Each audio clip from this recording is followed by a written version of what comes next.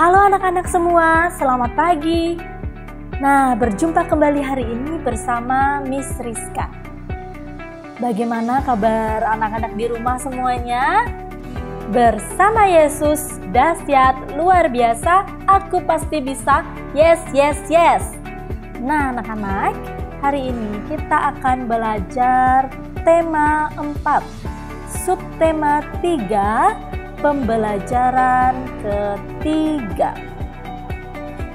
Oke, anak-anak di rumah, silahkan buka bukunya halaman 35. Di mod, buku modul tema 4 ya, buka halaman 35. Oke, semangat belajar, kita akan belajar bersama-sama. Yang pertama, yaitu muatan SBDP. Kerajinan dari bahan tanah liat. Oke, Nah, di sini ada Upin dan Ipin. Wah, ada yang bertanya, teman-teman, apa saja ya kerajinan yang dapat kita buat dari tanah liat? Ayo, di sini sudah Miss Rizka cantumkan contohnya. Yang dapat kita buat dari tanah liat misalnya ada gelas dan teko dari tanah liat, tempat pensil, celengan, vas bunga. Mungkin dari anak-anak di rumah ada ya beberapa yang punya benda dari kerajinan tanah liat. Miss Rizka punya celengan sih di rumah. Anak-anak punya benda apa dari tanah liat? Nah, kerajinan dari tanah liat merupakan karya tiga dimensi. Kenapa disebut karya tiga dimensi? Karena kerajinan dari tanah liat ini bisa kita lihat dari sisi mana pun, dari depan, dari belakang, dari bawah, dan bentuknya ini nyata ya. Sesuai namanya, tanah liat bersifat liat atau lengket jika basah sehingga mudah dibentuk. Oke, tanah liat ini jika basah itu bersifat lengket. Jadi kalau tanah liat ini lengket, mudah dibentuk berbagai macam bentuk. Kita dapat membuat berbagai macam bentuk benda dari tanah liat, misalnya yang ada pada gambar yang bisa Rizka cantumkan di sini. Lalu, bagaimana ya cara membuat kerajinan tanah liat? Oke, cara membuat kerajinan tanah liat yaitu yang pertama, kita siapkan tanah liat dan air secukupnya ini ada tanah liat secukupnya dan air secukupnya. Yang kedua, kita siapkan triplek atau papan kayu sebagai alas untuk kita membuat tanah liat. Yang ketiga, siapkan gambar atau rancangan. Modelnya gimana? Anak-anak membuat kayak apa nanti modelnya disiapkan dulu ya biar hasilnya itu mirip seperti yang kita inginkan. Yang nomor empat, Tempatkan tanah liat di atas triplex atau papan kayu sedikit demi sedikit. Seperlunya saja ya. Yang nomor 5, pijat-pijat bahan hingga mendekati bentuk yang diinginkan. Lalu yang nomor 6, tambahkan bahan jika kurang. Sebaliknya, kurangi bahan jika berlebih. Yang nomor 7, sempurnakan bentuk dengan alat bantu. Dan yang terakhir, berikan sentuhan akhir dengan pembentukan detail dan dihaluskan. Oke, itu tadi cara-cara yang kita siapkan untuk membuat kerajinan tanah liat. Nah, jadi bahan-bahannya ada apa? Ada triplex, ada tanah liat, ada air secukupnya ya. Ada rancangan um, model untuk membuat kerajinan tanah liat tersebut.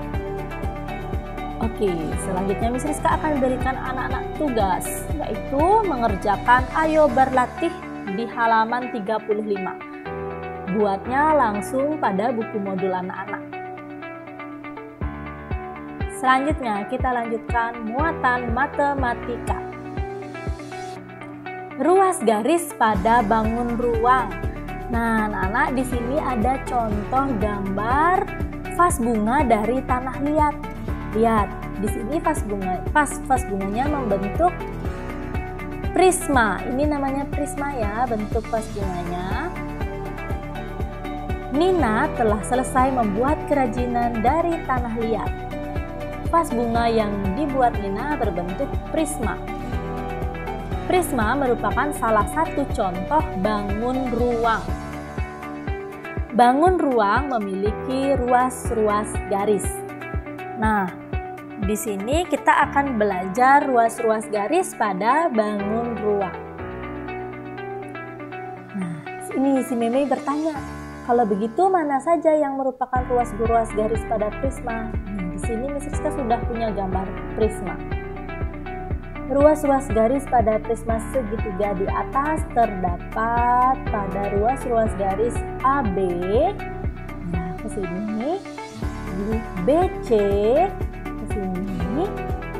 AC, DE,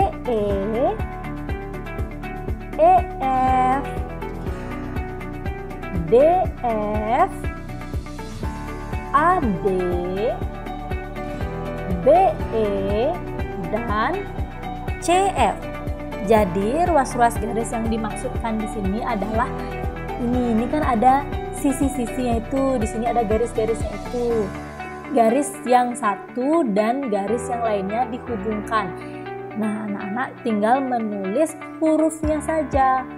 Contohnya seperti pada ruas-ruas garis prisma ini. Contoh yang kedua. Di sini ada bangun ruang, ini namanya limas. Kita cari ruas garisnya ya. Nah, Miss Rizka mulai dari yang B. Kita bisa ambil ruas garisnya B dan C ke sini dulu ya. BC lalu C D lalu B A. Lalu A D Oke di sini sudah. Sekarang kita lihat ke sini belum ya? Ya D E. Oke sekarang kita hitung ruas garisnya yang belum yang ini BE lalu CE dan lagi satu yang terakhir adalah AE Oke anak-anak. Jika anak-anak belum mengerti nanti bisa tanyakan Miss Rizka dan Miss Wulan Selanjutnya tugas anak-anak mengerjakan halaman 36 di sana ada soal ayo berlatih muatan matematika. Oke, itu saja tadi pembahasan dari Miss Rizka. Jika ada yang kesulitan bisa chat pribadi Miss Rizka dan Miss Ulang. Terima kasih anak-anak. Bye-bye. Selamat belajar. Tunggu ya video berikutnya.